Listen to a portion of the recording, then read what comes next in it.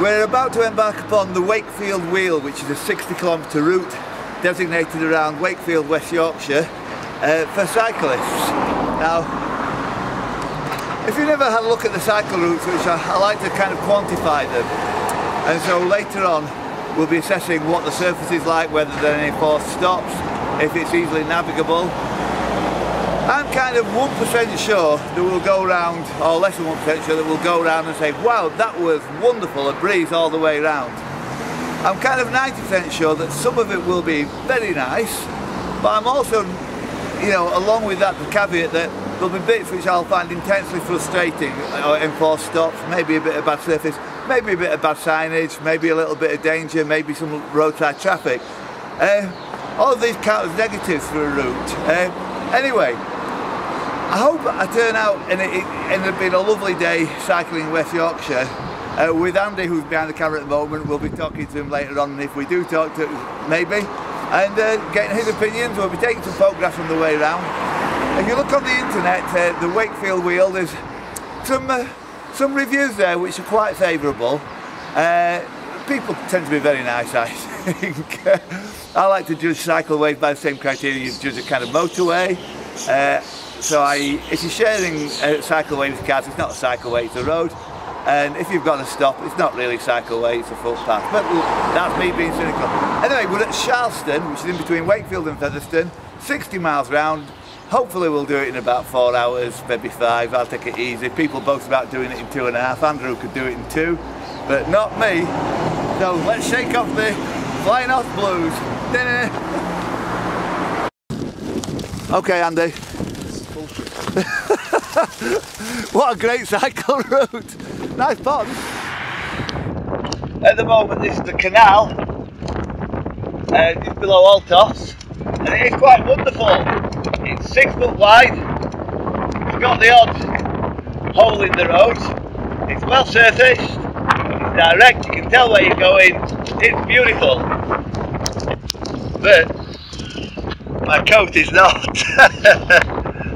although it's quite beautiful, as you can see behind me, it's certainly not traffic free, it's certainly not a cycleway, it's a footpath used by cycles, and this has been here forever. So to call it part of the Wakefield Wheel is call it, well, just another bit of a belt pen like this one was drawn. If you look at the stuff I had 20 years ago, from 1990 when I was originally doing these things, sorry, from the year 2000, you'll see that basically this comes out a very highly rated piece of route. But is this ingenuous to just call something which is linking up bits which are nice for cycling and call it cycle route? Cycle route should get from A quickly and safely. And although picturesque, and I really enjoy it, it's, I would recommend it for anybody well, this particular bit would be yes, a trip out. But regarding the Wakefield Wheel, after the first hour, if you live close to it and you've got a mountain bike, hey, go on it, you know, have a look at it, be quite nice. But I certainly, if you lived in any of the peripheral towns like Pontefract, which are five miles away, like I do, or I think any, any amount of towns like that, I'd say just find a nice near where you live. It's going to be just as good without the ball of actually cycling through places like Featherstone amongst many traffic and stuff like that. I know I'm a whinger, but it shouldn't be designated. If this is Wakefield, what Wakefield can be proud of cycling, they should be ashamed of themselves. Rubbish. You know, some of it's really rubbish. This is nice. This, this is uh,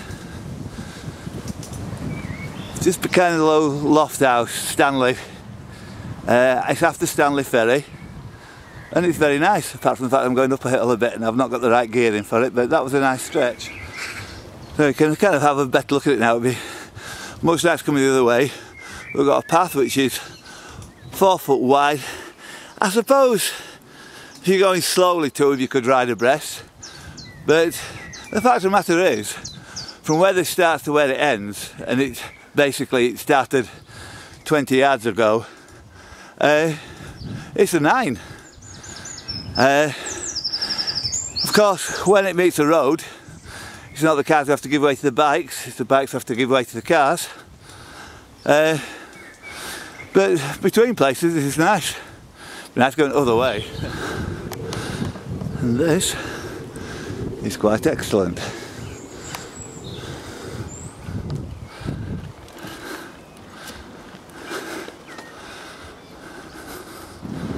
This is the uh,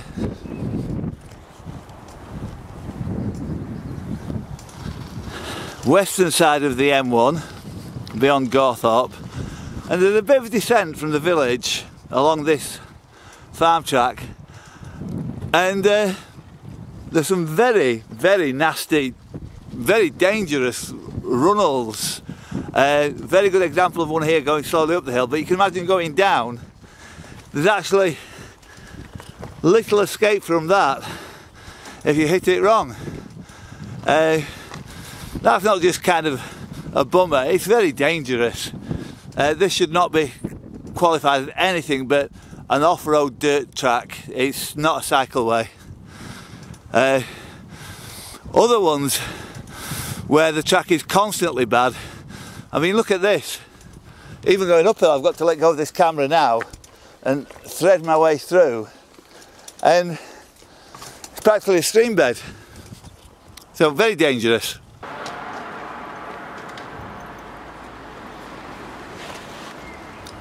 So this is approximately halfway from Sharlston uh, within Ossett. And a nice eclair sandwich from Paxman Hythe Speciality. And this kind of route is panning out more exactly as I thought it would. And that some of it's been really excellent, very good. Um, specifically coming out of Stanley uh, some bits have been very frustrating. Long diversions a short distance. Good example being at Normanton and at the canal at Altofts. Uh, obviously, if you want to cycle on the canal, you go to cycle on the canal shop. Uh, it's frustrating being sent half a mile one way and half a mile the other way when you can just cross over. Uh, then again, maybe I'm rushing around too much. Some of it's damn dangerous. Uh, specifically coming into Ossett on this farm track we've just been on. Um, with a little bit of uh, care and attention, it could be made much better. Well, actually, no, it needs quite a lot of care and attention to make it what I call uh, a, a cycleway. If you are going to go for a bike ride, if you live near this, so far this half. Yeah, go go on it. I mean, explore it. It's it's it's okay, but I wouldn't say it's significantly different or a great improvement on your own favourite cycle ride near your own house, uh, on quiet roads and farm tracks, and at least you'll know what bike to get. This is the wrong bike. Andrew's uh, Andrew's thrown the towel in, as it were. Don't blame him because he's on a narrow, and it's not suitable for that, that's about your limit, this, this Dawes Galaxy, what you can take on it. Anything else, you're going to break the wheels, quite honestly. Uh, yeah, recommendation, take a bike ride near your own house, sort your own route out, because it's no more, not probably not much less than that neither. A couple of good bits to redeem it, but it's a day out, I guess. Claire was nice.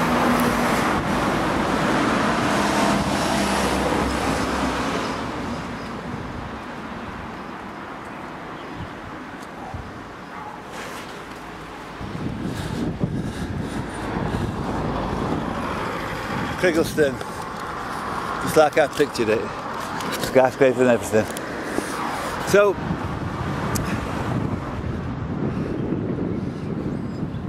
almost two thirds of the way there. Since the last bit of film, I've done perhaps 10, 12 kilometres. Yeah, I look over my shoulder and up the next hill, that's Ossett, that's where I've come from. And since Ossett, basically it's been like this. I've not been able to, it's been, you know, it's been busy traffic wise. There's been some canal which has been nice, but that's canal path, you go on those anyway. It's fucked. This is really fucked. so, it's just an ordinary, ordinary, very, very ordinary road. no biggie at all. A million of these.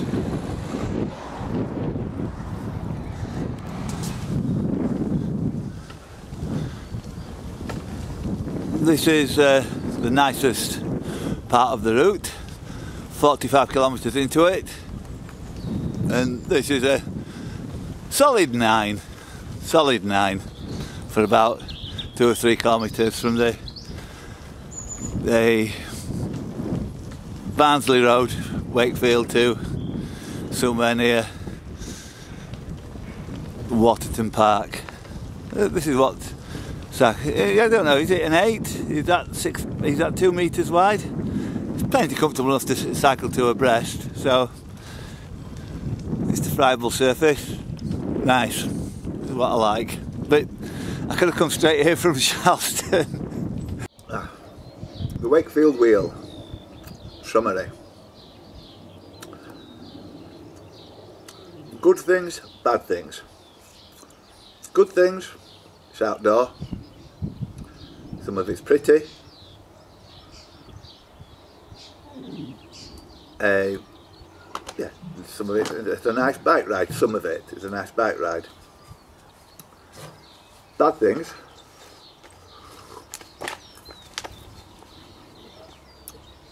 Well, trying to be objective, I have a rating system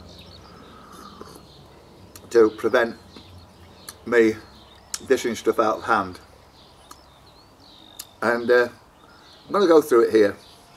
Now, breaking up into smaller bits, the, the Wakefield wheel would score, some, some parts of it would score very highly on this. It's a maximum of 10, and some bits close to a 9, if not a 9. Uh, hack back a few of the bushes at each side and you, you, you, you're getting almost there. So uh, the surface, now, chain's only strung at its weakest link, so I judge the weakest parts. And I would say for a metal surface you get two, for a friable surface you get one, for no surface you get zero. Uh, well, there's places half. There were some very dodgy friable surfaces around there, so a half. I don't think there was any place where there wasn't a surface at all having said that, straight away when you see the pictures of the kind of railway bus, that was worse than nothing. Uh, almost. Give it half, grudgingly. Width, less than a metre? Yeah, lots of places less than a metre, zero points. Traffic, more than 10 cars an hour? Yep, zero points. Stops, enforced stops? Yep, enforced stops on there, zero points. Navigable, I can't even say it. Confusion in route equals zero. Yes, there was confusion in the route. I was actually quite surprised when Andrew left me how I managed to blag my way around the route, but a couple of times I went amiss. Not disastrously, but I know by Kettlethorpe, I was thinking, if I didn't know the area very well, if I didn't know getting towards New Miller Dam that way, I'd have been seriously worried, and there was no signposting at the T-junction at the top there, so, and yeah, some of it was completely counterintuitive. Zero points. Route. If there is a fast alternative route, zero. If the route is the fastest route, one. Well, there is fast alternative routes to get from Sharlston to Sharlston, or between any two points on that particular map, so zero on the route. Score, well, it scores a half.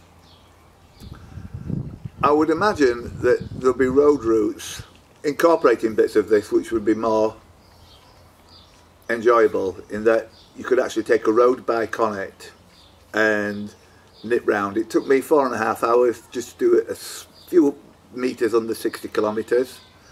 Uh, my advice would be, if you're going to use it, yeah, go and have a go at bits of it, especially the bits by Waterton Park and uh, out towards New Miller Dam.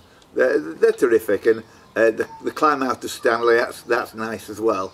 Uh, as an entity, it doesn't work. It's a few very mediocre to moderate to a couple of good cycle routes cobbled together they're haphazardly, it's inconsistent in the surfacing, uh, they are not direct, uh, and they're not a place to take a, a decent bike, which uh, I think if you're going to build a cycle route, yeah, you, you know, they should call it something different. They should call it the, the Wakefield Mountain Bike Circular or something. Uh, it's so frustrating to be on the road for an hour and look over your shoulder and see a church which you were next to the hour before.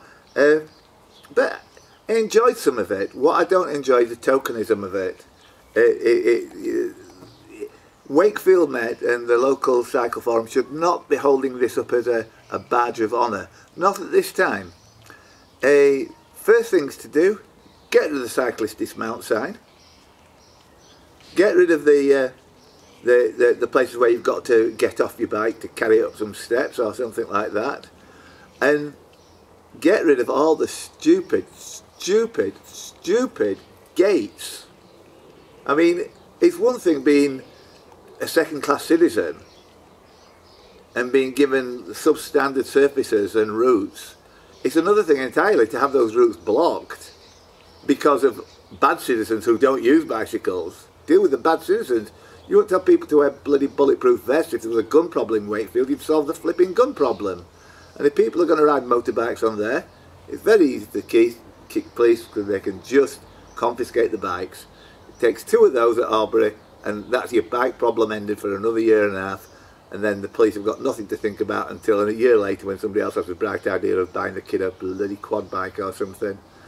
Um, so, yeah, if you're if you're five or ten miles away from the route, I'm I'm sure you can find perfectly good alternatives uh, or to, to, to, to the Wakefield wheel. Uh, could be. I'm not sure how much it would take to make it much, uh, half decent. Surfaces, once you got rid of the gates, then you talk about something. You know, and this is Wakefield's premier cycle route, and I don't know how many junctions there were with traffic, but if there were a hundred of them, the cycle has to give way a hundred times. That's a bit like being told to sit at the back of the bus if you're a nigger, and we shouldn't really be accepting it. By all means, go and try parts of the, the, the, the Wakefield wheel but I wouldn't do it all. You're going to go 60 kilometres, hell's bells, go to York and back via Cawood. You know, it's, much more enjoyable. Hello Malibu. Anyway, well earned rest. I'm getting too old for this kind of shit.